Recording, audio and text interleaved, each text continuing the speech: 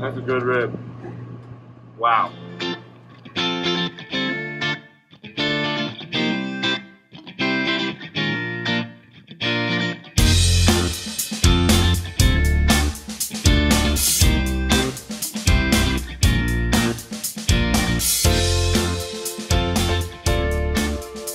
So excited for this week's Replicake It. We'll be making a rib cake for Project Barbecue in Johnson City. And to start out, I'm going to go ahead and make individual ribs out of modeling chocolate. So I'm just going to roll out some modeling chocolate into a coil and then flatten that out and smooth it down so it's more of a rib-like shape. This is going to be really cool because I'm going to be able to add this to the inside of the cake. And I'm hoping it's going to add a little bit of extra texture like a rib would have. So I'm just going to trim that down to get a desired length.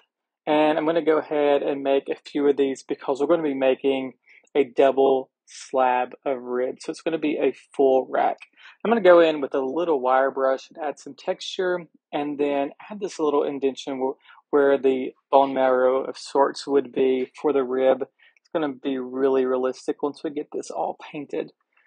Next up, we're going to start carving down our cake. So I've halved a thin slice of vanilla cake and using some blue vanilla buttercream, I'm going to fill that and then I can go in and start adding those ribs. this is going to be really neat and I'm already loving how this is looking. So I'm going to add six ribs to each half rack. And so it'll be a total of 12 rib bones that needed. So I'm going to add that second layer of vanilla cake onto that. And then just give this all a thin icing of blue buttercream. And this is going to be ready to go. Give that a chill and then we'll flip it over and give the bottom side a layer of blue buttercream as well. Once we've got this all coated, give it a chill into the fridge and we can move on and give that one final smoothing. Just want to get this really nice and smooth and shaped out exactly like a half rack of ribs would be. Then we can go in with some modeling chocolate in just a little bit and make it and add all that texture and, and detail. It's going to be really nice.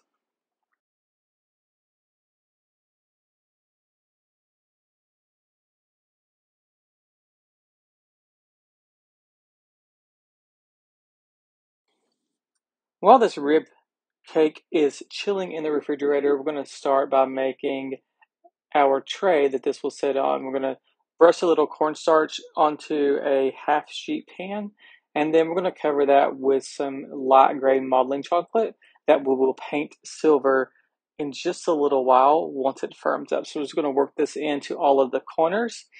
And then we're going to go in with an X-Acto knife and trim this down. We just want this to be really clean and sharp edges. So it's going to look just like a sheet pan once we're all finished.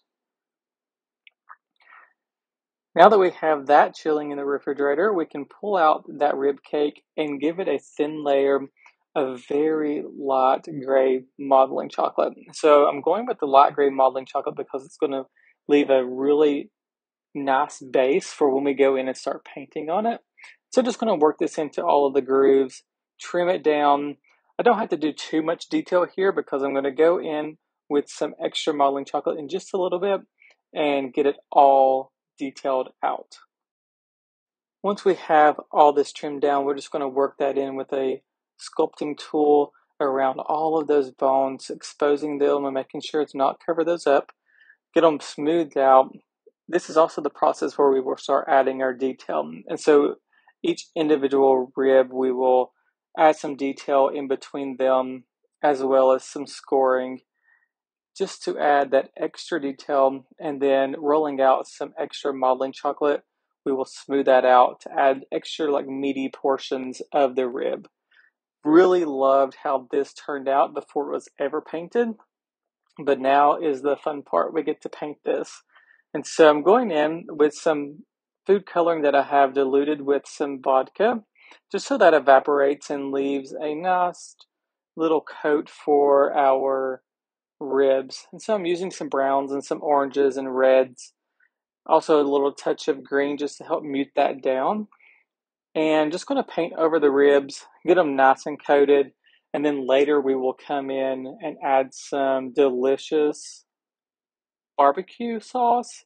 It is not barbecue sauce, and I'll tell you a little bit more about that in just a little bit.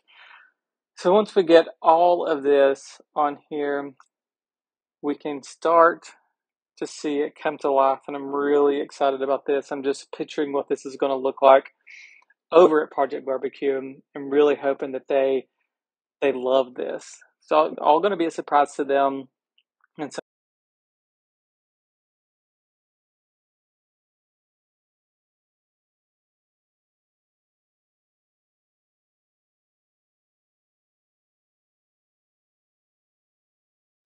Now that we have that meat portion painted with a base coat, we're going to go in and add a little darker areas as well as paint these bones.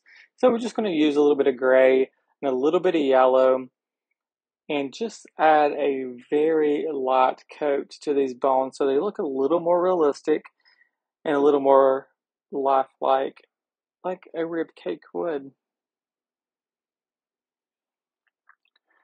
Now that we have this with all the base coat that we need, let's go ahead and paint that sheet pan to be silver.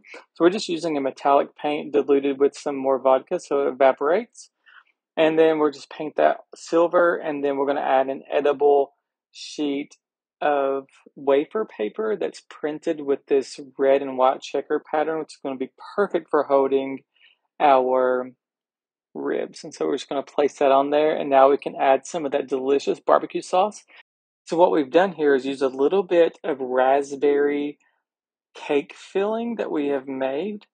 And we've strained that and then added some white food coloring as well as a little bit of orange and brown and a little more red just to give it the perfect barbecue sauce consistency. And so this is where this really became a realistic rib cake, and we were so excited about it, and we can't wait to take it over there.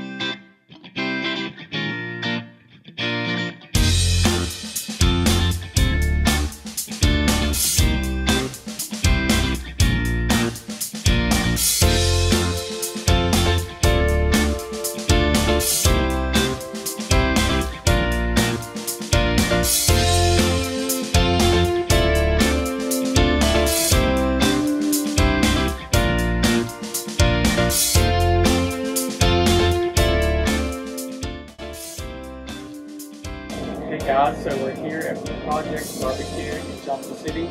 We're gonna go show them this really cool rib cake. Can't wait for them to see it.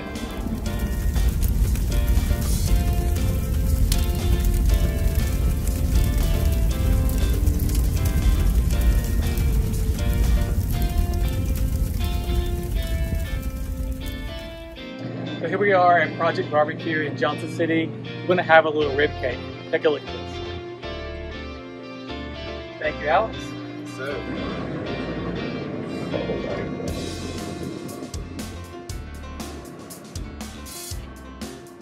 pull it apart. Can. Weren't you you? you get a video filming.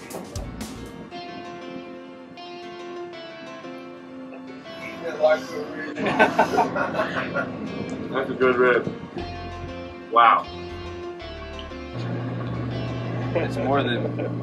What'd you put in the middle of this? So it's got modeling chocolate throughout the middle as well. So actually made individual rib bones and then built the cake around it so that it would have. It has that- a different texture. Yeah, like when you bite the rib. Here, Neil, try this, bro. Dad, you get one? This is a meaty rib right here. Get on, get on camera. Get on camera. Get on camera right here. Mm. Cheers. Meaty ribs, crazy. Good job, you guys. Thank well you. done. Yeah, I appreciate it.